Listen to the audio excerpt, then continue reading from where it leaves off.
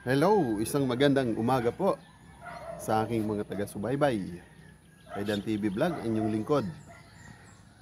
Ngayong araw po ay ah, araw ng ah, Sabado. Mayo 14, 2022. Ang inyong pong lingkod ay nandito sa Ligao City, Province of Albay sa muling pagkakataon. Dahil po sa isang ah, mahalagang ah, sadya na kung saan po kahapon ay ah, natapos na. Godspeed. So natapos ko po ang aking misyon kahapon. At ngayon nandito ulit ako sa ah, aming ah, inuuwian every ah, vacation dito sa probinsya ah, bahay po ng aking ah, kapatid na nagpakita ko na last ah, vacation namin nung Holy Week. So kinatatayuan ko po ngayon, may sasalarawan ko ay nandito ako sa rooftop ng ah, bahay na halos ay nasa rooftop ay pang apat na palapag kaya medyo nakikita ninyo elevated ang kinalalagyan ko. At isa sa mga gusto kong ipinapakita rito ang kabuuan ng ah, ligaw. Dahil nandito po ako sa tuktok ng ah, bahay ng aking kapatid. So, iikutin natin ang ah, palibot para maipakita ko po sa inyo ang kabuuan. So, nakaharap po ako sa silangan na kung saan na makikita ang almost one-fourth ng tuktok ng bulkan. But ah, pag ipopokus ko po sa inyo ay ah, east ano yan, silangan parte po yan ma-against sa light po tayo dahil ah, mga 6.30 pa lang in the morning here. Ah, but then, I try ko na ikutin ng camera para makita ninyo yung yung itsura niya. Pero magiging ah, hindi siya visible dahil tutok sa araw. But then, let us try. Okay? Ayan po. Yung sinasabi ko na from here, ay nakaharap ako sa silangan. Kaya makikita lang po natin, nakakasilaw, medyo syempre against the light. Um, tuktok ng bulkan ang makikita, very clear. Ah, walang walang takip. At yan pong bundok, ah, first the bundok na po yan, makikita natin, ay yan yung kawa-kawa uh, walking distance dito from the residence of my sister walking distance. So yan pinakaunang bundok na nakikitang kumukover sa kabuuan ng bulkan na yan ay uh, pag nandyan ka sa tuktok na yan then uh, ganyan ang itsura ngayon ng panahon makikitang buong buo yung bulkan.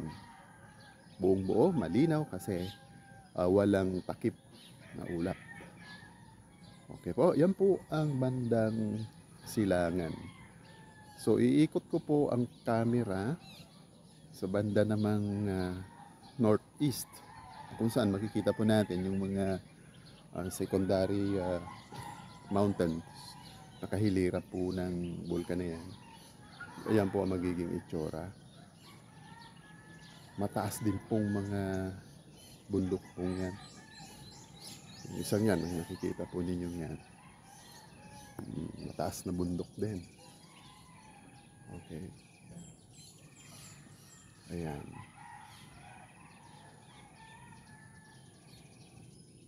Then, ah, ikot po tayo sa bandang ah, north. Yan, north pa rin po yan. Matatanaw na po dyan yung pinaka ah, city center ng Ligaw. Ayun pong banda ngayon. Then, syempre, um, iikot tayo sa bandang ah, western part of Ligaw. Yan na po. Yan na po makikita natin mga punong niyog. Ayan po. Papasyal ko kayo para baka someday mga kaibigan natin ay ah, gustong magpasyal sumama kay Dan TV Vlog sa lugar na ito. Dito tayo hihimpil. Yan po yan po ang bandang ah, west o Obligao so kung wala po yan makikita ninyong mga punong nyug na yan. Overlooking na po. Um, straight diretso po yan ang ah, patungong uh, Pio Duran. Isa po sa mga bayan ng Albay. Ayan. Masdan po ninyo ang set up ng mga puno dito. Talaga pong ah, maaliw kayo at very relaxing. Ayan po. So yukuan natin ang bandang baba ayan mga bubungan ng mga bahay-bahay. At syempre may lunti ang mga halamanan.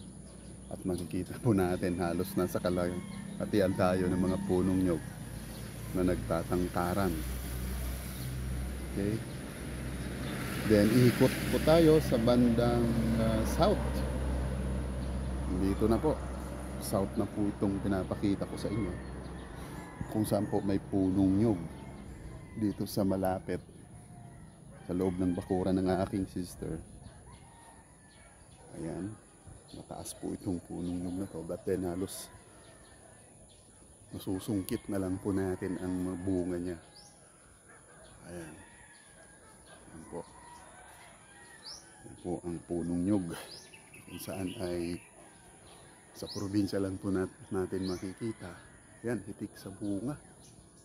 Ayan po kung ah, yuyuko tayo pababa unti-unti makikita po natin kung gaano po yan kataas so yan tingnan niyo po yan ayun yun mula doon sa pinaka ground kung saan po nag vlog na ako before yan nung ah, huling bakasyon namin dito nung Holy Week Diyan po ako nag-vlog sa bandang yon. So ito po yung punong nyog. So iaakyat po natin hanggang sa kinalalagyan ko sa rooftop. Ayan. O, halos abot kamay na. Susungkitin na lang ng panungkit. Ayan na po yung mga buko. Ayan po. Sa bandang ah, um, south timog, kumbaga. Yan po na, papakita ko po sa inyo. So, again, uh, for the last uh, view, ay iikutin ko. Ito from uh, uh, south, ayan. South po yan, iikutin ko pa kaliwa. Masisilaw tayo ulit dahil makikita natin yung silangan parte ng uh, dito kinalalagyan ko sa ligaw na kung saan nandito yung bulkan na medyo pataas ng araw. O yan po ulit. Silangan. Babaling po tayo ng pakaliwa. Ang north east. Ayan po. Ayan po. May bundok na ang ganda rin pong uh, at napakataas na bundok niyan. Then uh, balik tayo doon sa pinaka-norte na kung saan mula dito sa kinalalagyan ko ay ang ah, city center ng Ligaw. Ayun, natatanaw po doon sa bandang yun. Ayun. Then, baling ulit, paikot na sa pinanggalingan natin. Inikot ko na po sa inyo yan. Ayan po ang view kung saan makikita mo nagtatayang yun, mga nag um, tataasang mga punong nyog kung saan mga nanghihitik sa bunga. So yan po ang larawan ng probinsya. And then, um, back to your Alright, nandiyan na po. So, this morning, yan po muna ang unang maibabahagi ko sa inyo. Ang Dan TV Vlog. Huwag niyo pong ah, kalimutan i-likes. And uh, share naman. And subscribe of course. Dan TV Vlog. Muling nagbakasyon sa Kabikulan. Alright.